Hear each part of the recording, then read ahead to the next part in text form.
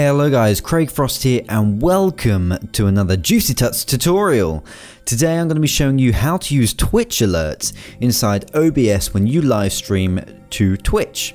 So this is the OBS layout. I have just got a basic scene in here with just one image, but what if every time someone follows me or subscribes or any of that, I want it to pop up and say their name and get a bit of recognition? Well, I'm going to use Twitch alerts for that. What I'm going to do is I'm going to just close OBS now because we're going to need to install a plugin in a moment. Actually, I'll leave it open because I'll show you something else as well. Um, so you want to come over to twitchalerts.com and log in with your Twitch account and authorize the API through this website and then it will come in with all your channel stats. You want to come over to the alert box on the left hand side and here is where you can use it to customize what comes up on screen every time somebody like follows you, subscribes, donates, hosts your channel, that kind of thing. Um, so I'll show you now how you can customize it. I'll just do it on followers. So here you can choose the layout of the text and image, how it comes in, what it's going to say. So we'll say you have to have the name tag in there, but you'll say is is now following me like a stalker. There we go. And you can spell it correctly as well if you want. Uh, exclamation marks. That's what's going to say when someone follows me. It's going to say their name is now following me like a stalker. Uh, you can choose the effect on the text, so you can have it all bounce like that. I'll have it bouncing. Now you can choose an image if you want. Uh, we'll have a star come up, shall we? Let's have a star. That's cool. So a star will come up and it will also say, um, you know, their name. And we will, you can choose what kind of audio sound plays as well. Oh, let's have that. Okay, so we're to have that, and you can choose how long it stays on screen. We'll leave it on screen for, I'll leave it on screen for 30 seconds just so we get to see it. So now what you can do is you can press launch, and this will actually launch another window. Let's move this to the side. Now this window is like a green screen window and every time someone follows you this will like display the alert. I'll show you now. If I click test follow there you go. It says that Lilo Pro is now following. Lilo Pro is my gaming channel on Twitch.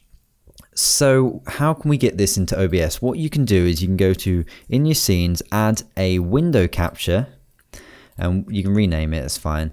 You've got to choose your widget box from Twitch and if we press OK and preview the stream that'll now be in our stream so there we go you can see it in the stream but that's no good because we don't want this green background here all the time let me just crop in on the window a little bit oh just hold alt and that'll allow you to crop in just a tad because we don't want lines around the outside um, so there you go but yeah, it's green. So what you can do is you can double click on this window capture and you can choose to color key. So if you press select, you select the green and it'll just disappear just like that.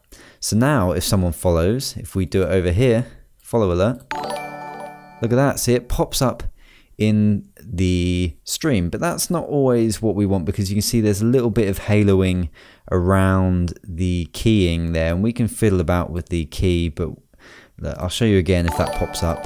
Look at this, it's not very clean. So what can we do to fix that? What we can do is, oh hang on, did I not save? I obviously didn't save my changes. Save settings. I thought there was supposed to be a star.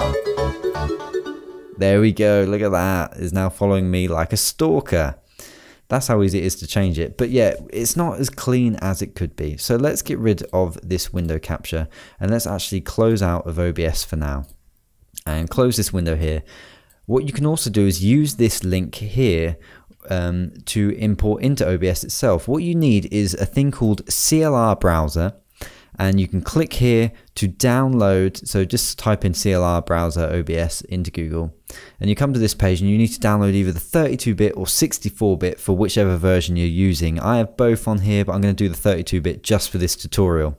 So once it's downloaded, in your downloads it'll be a zip, just extract the files to the same location, that's absolutely fine.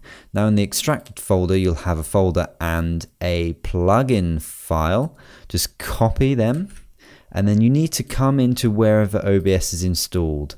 So if you are running the 64-bit, it'll be program files. If you're running the 32-bit, it'll be program files times 86 because obviously 32 means 86 for some reason.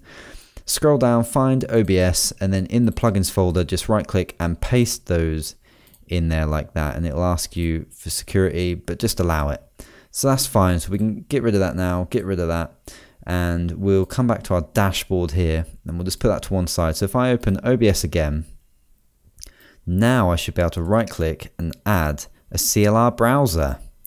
Um, we can rename everything, it's fine. Now in this URL, we need to put in this URL here. So if we just copy and paste that and press OK and preview the stream, it should now be in there. It's this transparent box and it's perfectly transparent. We don't need to key anything. So now if I do a follow alert, Look at that. And the keying is absolutely perfect. So is the cropping. We don't need to do anything. So there you go, guys. That's how to use Twitch alerts inside of OBS for Twitch. And this will, of course, work for anything if someone donates. There you go. See, you can customize your donation alerts for everything um, inside this Twitch alerts. Thank you for watching. I hope you found this useful. I waffled on a little bit, but it's absolutely fine. So leave a like, subscribe if you want to see more of these, and I'll see you again next time. Bye bye.